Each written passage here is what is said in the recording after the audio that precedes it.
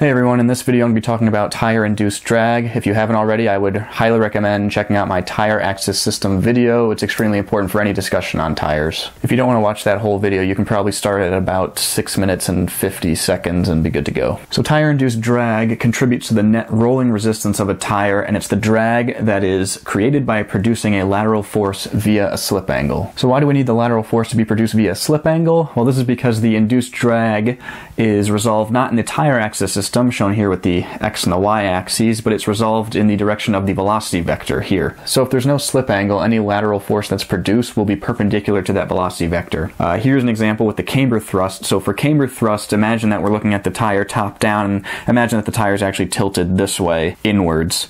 And so the lateral force produced via camber thrust points this way, and imagine that the tire is rolling straight this way. So you can see that the lateral force due to camber thrust is perpendicular to the velocity vector and thus does not actually produce any induced drag here. Now, lateral forces due to camber at uh, non-zero slip angles obviously exist, but they're different than camber thrust itself. Based off of our discussion on the previous whiteboard, we assume that the induced drag will be a function of both lateral force and slip angle. So over here, I've drawn an overhead view of a tire in a right-hand turn. The tire is drawn in black, and the tire axis system is in black dashed, so positive x-axis this way, positive y-axis this way. The velocity vector is drawn in red, and so we can see that our tire is moving in this direction, but it's pointed in this direction, so it's trying to move in a right-hand turn like this. We can break up the velocity vector into components along the tire axis system, so we can drop a perpendicular down to here to the x-axis and find the x-axis component of the velocity u. We can also drop a perpendicular down to here to find the y-axis component of the velocity v. The slip angle, as mentioned previously, is defined as the angle between where the tire is going and where it's pointed. Based off of this, we can see that this makes a triangle right here, and we're trying to find this angle in here, which is the slip angle, and we can see that this length here is V, and this one here or this one here, is u. So the slip angle is defined as the inverse tangent of v over u. And for this particular right-hand turn, we can see that while u is positive, it's pointed in the positive x direction, v is actually pointing in the negative y direction, opposite the positive y direction. So this means that the slip angle for a right-hand turn is negative. Based off of this slip angle, a lateral force is produced, and you can see that this lateral force in a right-hand turn is produced in the positive y direction in the tire axis system, so we have a positive lateral force. And what we're trying to find is the induced drag, which is that component of the lateral force produced in the uh, velocity vector direction. And you can see I've drawn that here. You can see it's actually pointing in the opposite direction of where the tire is going, which makes sense in terms of the terminology. It's an induced drag. It's opposing the motion. And so how do we find this value here? Well, if we draw the horizontal axis here for the velocity vector, then you can see that the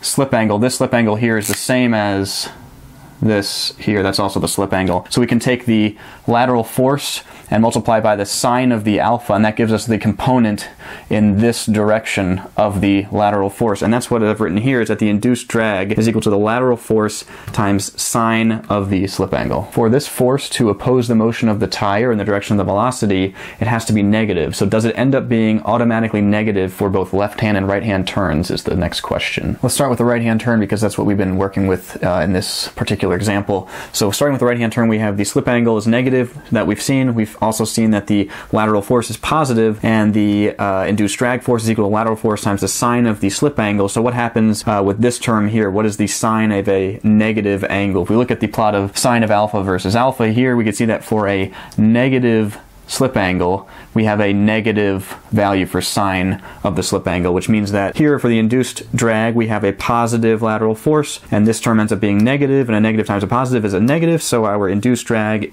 does indeed end up being negative. Now for a left-hand turn, similarly, we have a positive slip angle, which produces a negative lateral force, and so the sine of a positive slip angle positive slip angle gives us a positive value of sine of a slip angle. So we have a negative lateral force times a positive sine of the slip angle gives us a negative induced drag, same as the right hand turn. So the uh, signs of the uh, induced drag end up working out. You may also ask, well, technically in a sine curve, it, if you have a positive angle, it comes down and becomes a negative, and similarly for a negative angle, it comes up and becomes positive. But the maximum slip angle you can have, you can think about going forward and turning your tire all the way perpendicular to the direction that you're moving is a 90 degree slip angle. And if you look at this plot here, the 90 degree point ends up being right here and right here.